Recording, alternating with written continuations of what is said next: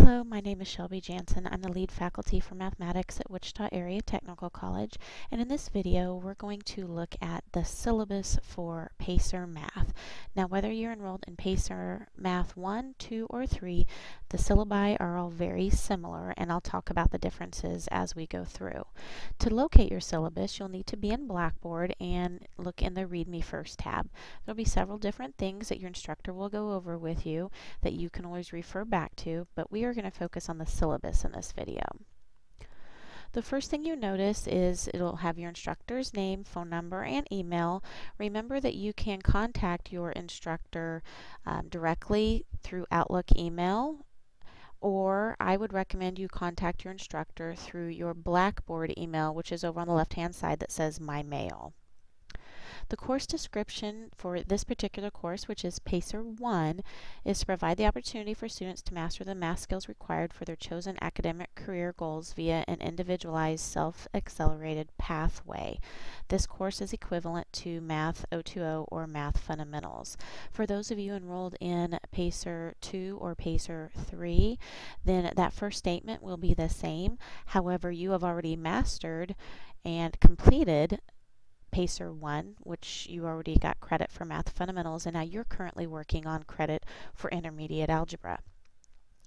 Uh, this little section, Pacer Math, just kind of describes how the class is arranged. It is an open learning environment in which you will be working on a computer at your own pace through the course. Now, of course, at your own pace means that you are still moving forward and not staying in one lesson the entire course. Uh, if you are in Pacer 1, you are required to finish modules 1 through 7 in order to pass the course. And if you're in Pacer 2, then you will be required to complete modules 8 through 12. And if you're in PACER 3, you are required to finish all the way up through module 16. The materials that you're going to need for this class, MyMathLab e-course for developmental math, and it comes with an access card and a notebook. So those are the two things that are required. Now when you start in PACER 1 you're going to actually use these same materials for PACER 1, 2, and 3. So you only have to buy this once. A scientific calculator, once you get through um, Module 5 then you will be allowed to start using a calculator beginning in Module 6. So you will want to have a scientific calculator for that. We recommend a three-ring binder. Um, headphones or ear earbuds, although headphones and earbuds, um, or we have headphones in our Pacer Lab at Southside, so we have some that you can use, but of course we would encourage you to bring your own. And then optional, a personal laptop. Um, we do have a laptop cart in the Pacer Lab at Southside, or you can bring your own laptop. Tutoring and remediation um, are available through the Academic Success Center, and if you're needing to know the hours for the tutoring area in the Academic Success Center. We have hours at NCAT and we have hours at Southside. Now these are pretty general, so you probably want to look at a tutoring schedule by day or by name. This is going to be more specific as to who is there and what their skill set is. So if we look at Southside, on Mondays you can see that we have um, a couple different math instructors available. It looks like a lot of math, uh, but then on Tuesdays we have somebody there for reading and math. Usually there's going to be somebody that can help you with your math in the ASC, but you always want to double check the schedule and make sure. And this is available at watc.edu on the home page and if you go into the academics area there is the tutoring link. So back to our syllabus. Of course, um, college policies can, can also be found in the Read Me First area. Academic honesty, please make sure that you are doing your own work. And all of our exams are proctored, so you will be taking those for sure. Blackboard modules, everything is organized into modules. And since we're looking at PACER 1, um, there are seven required modules. Now, when you look at the coursework, you'll notice that there's actually all the modules for all of the PACER courses listed in coursework. That is because since you are, able to move at your own pace and self-accelerate through the modules, you might actually get through more than what is required.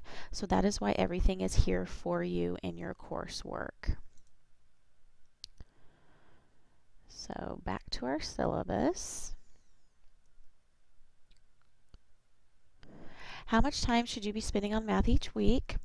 Um, of course, you're going to be in class working, and then you will you will want to spend some time outside of class as well. Just like in a regular course, you usually go to class, your instructor shows you an example, um, or you take tests or things like that. You take notes, um, and then you go home and you do your homework. So this class, yes, you are still coming to class and you're working during class, but you're not going to be able to get everything done that you need to get done during class time. You will need to work outside of class as well.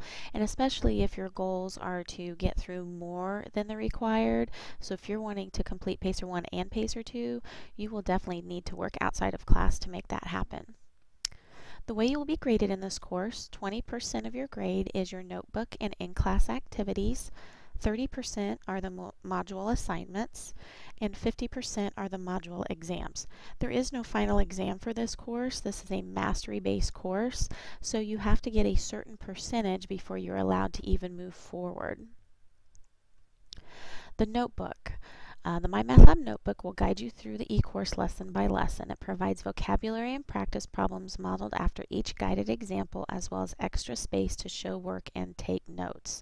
So this notebook is how you are going to learn the material. So you're always going to start with your notebook and sometimes students like to look at their notebook and work through those problems first and then look at the tutorials online. Some people like to look at the tutorials online and then work in their notebook notebook. It's entirely up to you, but you do need to work through that notebook first before you start the homework. Otherwise, you're going to get frustrated with your homework assignments because you haven't learned the material or taken notes. So just because this is moving at your own pace, you still have to learn the material before you start working.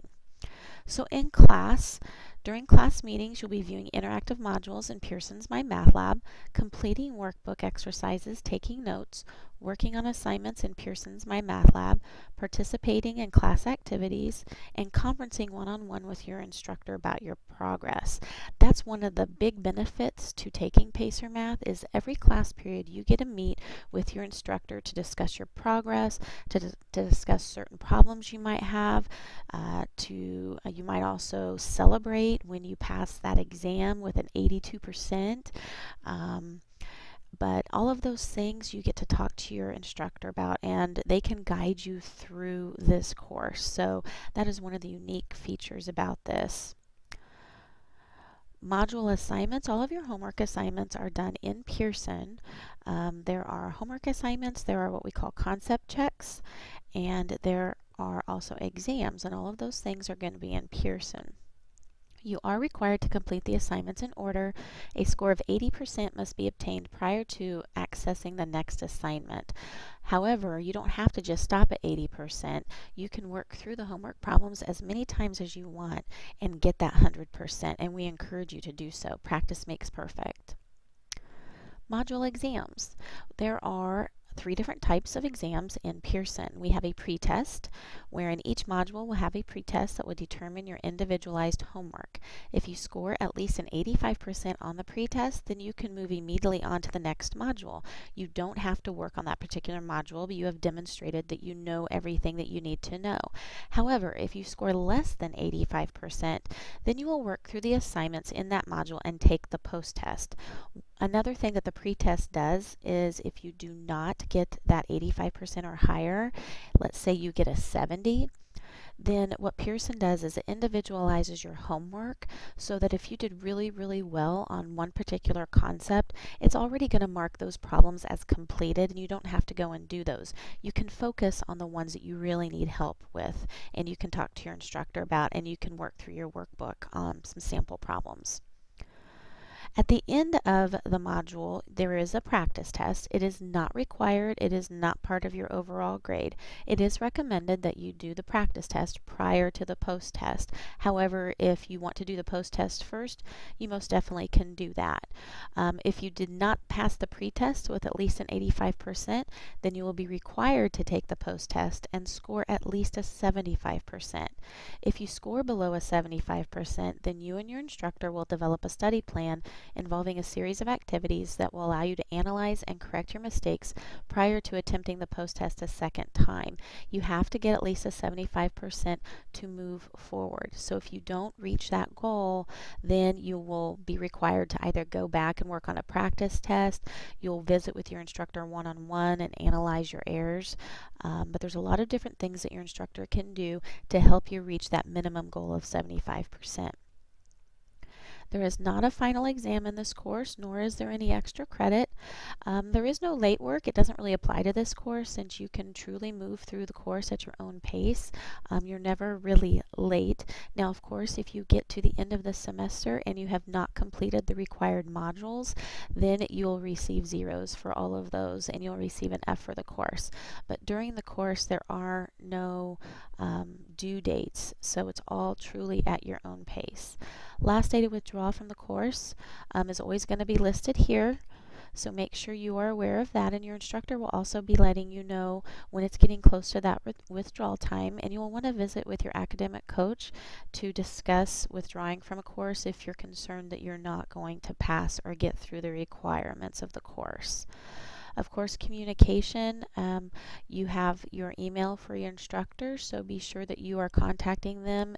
You will see them twice a week. Um, or once depending on when you're taking your PACER course. So you will see them during the week, but if you need to get in contact with them, you can email them directly or you can email them through the My Mail in on the left-hand column of your Blackboard. The rest of this is pretty standard as far as any syllabi that you see um, in any course that you take here at WATC, so you just need to be aware of those. Here is the curriculum sequence for everything for from PACER 1 all the way through PACER 3. So you can see everything that's going to be required. If you're taking the entire sequence, we've got 17 modules um, that are listed here and you'll have to require all of those. It is possible to pass and get through all of the modules in eight weeks. We actually had a student do that in a summer semester, get through zero all the way through 17 in eight weeks. So she was determined and she had some goals, um, but your goals are probably going to be different. So you really need to look at what your academic schedule is and what your course load is and decide truly what is a realistic goal for you. Um, we want you to get through at least the required, but I would like for you to strive maybe for an extra module. So if you have to get through seven, then maybe your goal is to get through eight. And if that's your goal, visit with your instructor regularly and they will help you get to that goal. If you have any questions about the syllabus or how the course works, please be sure to visit with your instructor.